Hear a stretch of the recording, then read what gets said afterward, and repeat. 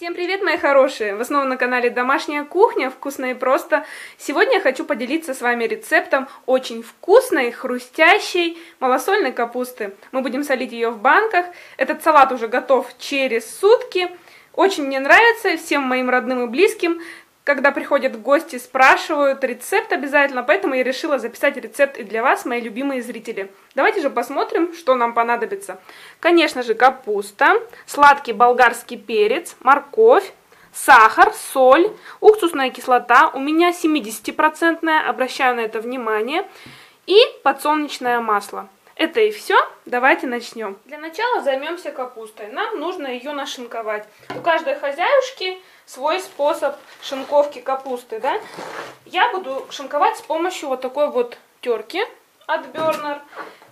Если у вас нет специального приспособления, то просто нашинкуйте меленько ножом. Вот таким вот образом я натерла капусту и положила в большую емкость, чтобы было удобно.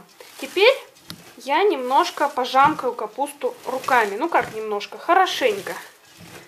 Чтобы наша капусточка была не только хрустящей, но и нежной. Вот таким вот образом пожамкали капусту. И теперь будем натирать другие овощи.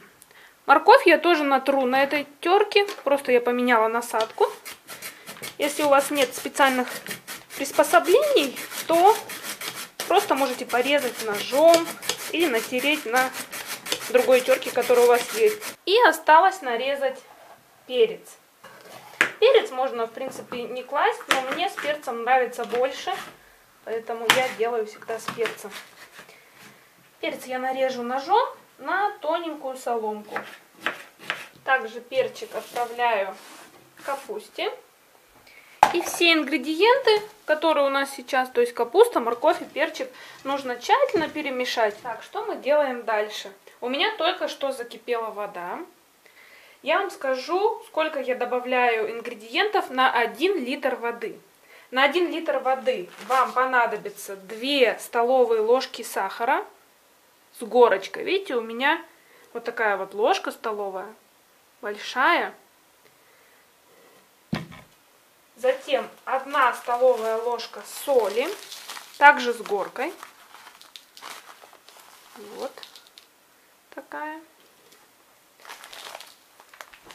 И 1 столовая ложка уксуса. Но уксус у меня 70%. Обратите внимание, если у вас другой процент уксуса, да, то вы считайте сами для себя. Например, если у вас 20% уксус, понадобится 3 столовые ложки. Если еще меньше процент, значит больше. Но у меня 70% и я добавляю одну столовую ложку уксуса. Теперь все перемешиваю в кастрюле. Так, я перемешала, чтобы соль и сахар полностью растворился в воде. Теперь пока кастрюлю оставим в стороночку, аккуратней, не обожгитесь. Когда работаете с кипятком, надо быть всегда предельно аккуратным. И сейчас вам покажу, как заполняю баночки. Баночки я уже помыла, простерилизовала. Я их стерилизую в духовке. Ставлю духовку на 50 градусов и прекрасно, очень удобно. Так, на дно баночек я наливаю растительное масло, чтобы полностью покрыло дно примерно на 1 сантиметр. Вот у меня стакана масла хватило на 5 баночек. И добавляю в баночки капусту. Слишком плотно забивать не надо, потому что вы еще будете заливать рассол, и чтобы этот рассол смог проникнуть в капусту, да? Поэтому прям трамбовать капусту не надо. Вот таким вот образом я заполнила капустой. Видите, я ее не трамбовала. Теперь возьму чашку, чтобы было удобней. Я вам сейчас на одной баночке покажу пример. И потом буду остальные спокойно заполнять. У меня вода кипящая, да? Она вот только закипела. Я заливаю капусту этой водой, которую мы сделали. Вода должна быть доверху. То есть вся капуста должна быть закрыта. И закрываю крышкой. Я закрываю вот такой вот обычной крышкой. То есть она закручивается. Все, первая баночка готова. Очень легко и просто. Не правда ведь? Убираю эту баночку в стороночку. И пока буду заполнять следующие банки. У меня получилось 5 баночек замечательной капусты. Как раз я рассчитала, глаз алмаз. И я закрыла крышками, но не слишком плотно. То есть силой туго я не закрывала. На ключ такие баночки закрывать не надо, потому что немножко воздух все-таки должен попадать, да, чтобы капусточка хорошо у нас солилась. Можно закрыть вот такими вот крышечками силиконовыми, если у вас нет вот таких вот закручивающихся. Так, сейчас баночки горячие, и я ставлю капусту ровно на сутки здесь на кухне, да, никуда не буду убирать. Через сутки эта капуста уже готова, ее можно кушать. Капуста получается очень вкусная, хрустящая, сочная такая.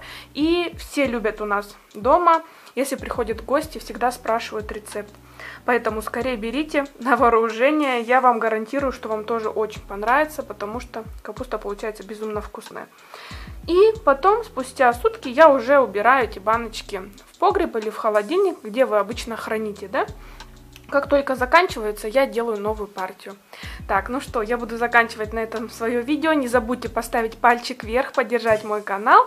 А я и дальше буду радовать вас простыми, вкусными и полезными рецептами. Всем пока-пока, увидимся! Так, ну что, прошли сутки ровно. Я убрала всю капусточку в холодильник. И вот такая вот классная капустка получается. Давайте попробуем сейчас вместе с вами. Масло поднимается вверх по капусте. М -м -м, очень вкусно. Хрустящая. И в этот салат уже ничего не надо дополнять, добавлять, потому что масло уже поднялось. То есть вся капуста пропиталась маслом. Очень вкусный малосольный салат получается.